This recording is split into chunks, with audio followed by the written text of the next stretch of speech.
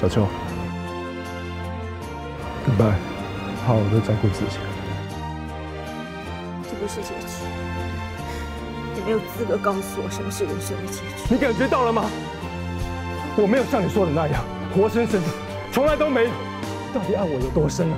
我谢小秋什么都没有，但是我给了你王沥川我所有的爱，在爱情面前我比你富有。